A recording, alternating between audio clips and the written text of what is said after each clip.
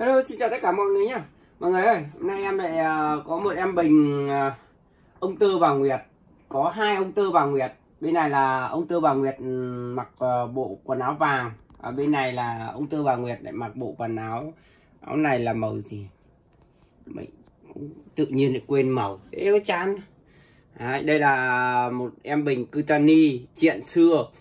Uh, Vẽ hai cặp ông Tư bà Nguyệt mọi người nhé đây là họa tiết của em Bình. Mình sẽ quay cho mọi người xem.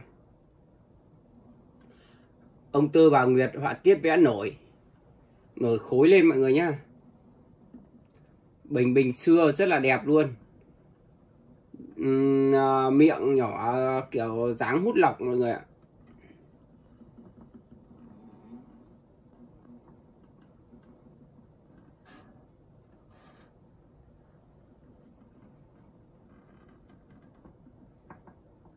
Bình này thì họa tiết thì nó không được nhiều nhưng mà nó lại được ông Tơ và Nguyệt xe duyên. À, ông à, bà quét ra ông cào vào mọi người ạ. Đấy, đây miệng nó đây mọi người. Đấy, bây giờ mình đo cái miệng cho mọi người xem nhé. Đây miệng của nó là 12 mọi người ạ.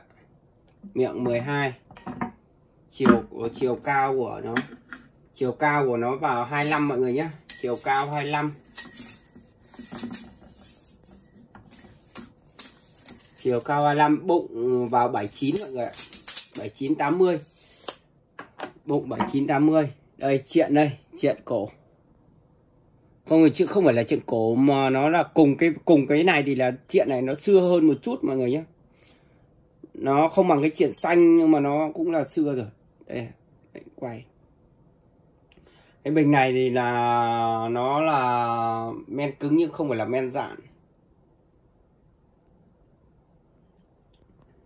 Bình ờ, bình này tương đối là đẹp đấy mọi người vẽ đây em quay quay quay xa gần gần lại cho chỗ ông tư và người này cho mọi người xem.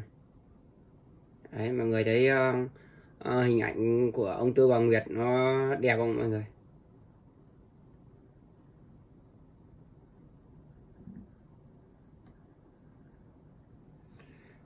Đấy, mọi người ai mà muốn mua cái bình này thì mọi người cứ liên hệ với mình nhé. À, liên hệ với mình qua Zalo theo số điện thoại là 0962 949 668 mọi người nhé. Mọi người ờ, có muốn mua bất kỳ một sản phẩm gốm nào thì mọi người cứ liên hệ với mình qua Zalo số điện thoại đó. Có gì thì mình sẽ tư vấn cho mọi người nhé mọi người nhé.